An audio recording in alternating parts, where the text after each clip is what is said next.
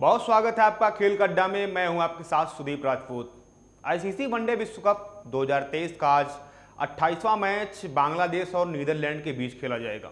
लेकिन उसके पहले बता दें कि आज दो मुकाबला था। पहले मुकाबले में जिस तरीके से न्यूजीलैंड और ऑस्ट्रेलिया की टीम भिड़ती हैं, इस मैच में काफ़ी लंबे अरसे बाद आज ट्रेबिस हेड की वापसी होती है।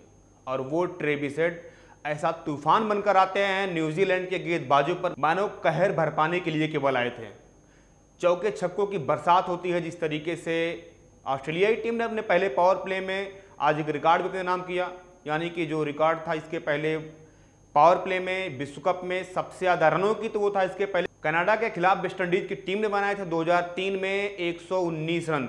आज इस मैच में उस रिकॉर्ड की बराबरी करने से महज एक रन से चूक गई ऑस्ट्रेलियाई टीम, जिसको उसको शायद मजाल भी होगा। लेकिन आज की जो बैटिंग रही, खास करके ट्रेविस हेड और डेविड वार्नर की, वाकई में बहुत लाजवाब रही। अगर बात की जाए तो इस मैच में दोनों बल्लेबाजों ने पहले पावर प्ले, यानी कि पहले 10 ओवर में 21 बाउंड्री मारी, यानी कि 10 छक्के और 11 चौके। आप सोच सकते हैं कि चाहे लॉकी फार्गूसन हो, चाहे ट्रेंड बोल्ट हो, या मैट हेनरी हो बीच में उनको मिचिल सेंटर को लेकर आना पड़ा, जो उनके प्रमुख स्पिनर गेंदबाज हैं। लेकिन ये तूफ़ान रुकने का नाम ही नहीं ले रहा था। मानो एक समय ये लग रहा था कि ये टीम आज वर्ल्ड कप का सबसे बड़ा रिकॉर्ड रन बनाएगी और कम से कम पाँच रन बनाएगी। लेकिन फिर जिस तरीके से जो उनके बल्लेबाज हैं कभी कभी गेंदबाजी भी करते हैं, ग्लेन फिलिप्स ग्लेन फिलिप्स ने अच्छी गेंदबाजी की और 10 ओवर में सैंतीस रन देकर तीन विकेट छटकाए। उसके चलते कहीं ना कहीं अपने आप को ऑस्ट्रेलियाई टीम थोड़ा बहुत बैकफुट पर पाई। फ़िलहाल आज की बात करें तो दोनों टीमों के बीच यह मुकाबला कोलकाता के ईडन गार्डन स्टेडियम में खेला जाएगा। टूर्नामेंट में दोनों ही टीमों की हालत बहुत ही खराब है। बांग्लादेश और नीदरलैंड दोनों ने पाँच पाँच मैच खेले हैं, जिसमें उसे सिर्फ़ एक मैच में जीत मिली है। ऐसे में सेमीफाइनल की रेस में या दोनों ही टीमों के लिए लगभग बाहर हो चुकी हैं। ऐसे में बांग्लादेश और नीदरलैंड की कोशिश होगी कि वह टूर्नामेंट में बची हुए अपने मैचों में दमदार खेल का प्रदर्शन करते हुए पॉइंट्स टेबल में अपनी स्थिति को मज़बूत करने की कोशिश करें। इडन गार्डन की पिच को अगर आप बात करेंगे तो बेहतरीन क्रिकेटिंग पिच है। यहाँ पर ऐसा माना जाता है कि नई गेंद से शुरुआत में तेज गेंदबाजों को मदद मिलती है, लेकिन गेंद पुरानी होने के साथ ही या बैट पर आसानी से आती है। ऐसे में इस पिच पर अगर बल्लेबाजियों ने होशियारी से काम लिया और रुककर खेलने का प्रयास किया तो खूब चौके और छक्के भी लग सकते हैं। वैसे भी ईडन गार्डन्स के मैदान पर देखा जाए तो कई हाई स्कोरिंग मुकाबले भी होते हैं। ऐसा भी नहीं है कि पिच सिर्फ़ बल्लेबाजों के लिए, यानी बल्लेबाजों के फेवर में रहती है। इस मैदान पर गेंदबाजों को भी खूब मदद मिलती है। ऐसे में मुकाबला काफ़ी रोमांचक होने वाला है।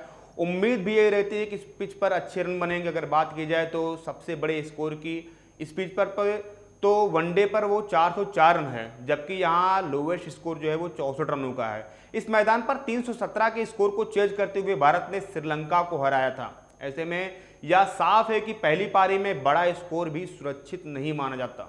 अगर वहीं बात की जाए तो जिस तरीके से पिछला मैच अपना हार करा रही नीदरलैंड जिनको ऑस्ट्रेलियाई टीम ने रिकॉर्ड रनों से हराया था 309 रनों से पूरी की पूरी टीम 90 रनों पर ऑल आउट हो गई थी।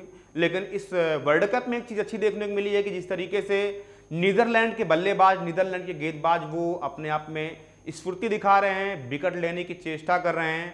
वहीं बात करेंगे तो वैन बीक ने चार मैचों में आठ विकेट चटकाए हैं, जबकि डिलीडे ने भी पाँच मैचों में अपने नाम नौ सफलताएँ की हैं।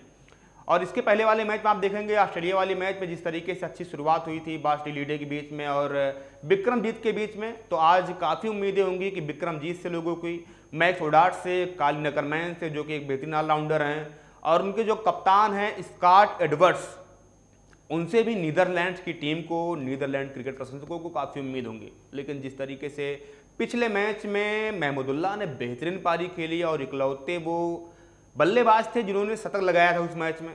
ऐसे में इस पूरे मैच में आप देखेंगे, जैसे लगता है कि शाकिब अल हसन के ऊपर कोई गिरासा लग गया हो। वो इतनी बेहतरीन स्पिन गेंदबाजी करने वाला गेंदबाज, इतनी अच्छी मध्यम क्रम में आकर वो अपने टीम को संभालने वाला बल्लेबाज, यानी कि शाकिब अल हसन की जब बात होती है तो उनको दुनिया के बेस्ट ऑलराउंडर में उनकी गिनती होती है। और अच्छे कप्तान भी हैं। लेकिन उनके जो उनका नाम है, उस हिसाब से अभी तक वर्ल्ड कप में उनके बल्ले से, ना ही उनके गेज से कोई कारनामा देखने को मिला भी नहीं है।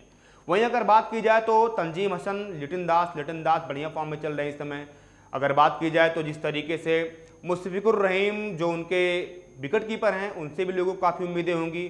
चाहे मेहदी हसन मिराज की बात कर लें, चाहे नशुन की बात कर लें तो वाकई में ये मैच काफ़ी रोमांचक होने वाला है और ऐसे में उम्मीद भी आप ये भी कर सकते हैं कि मैच इंटरेस्टिंग होगा।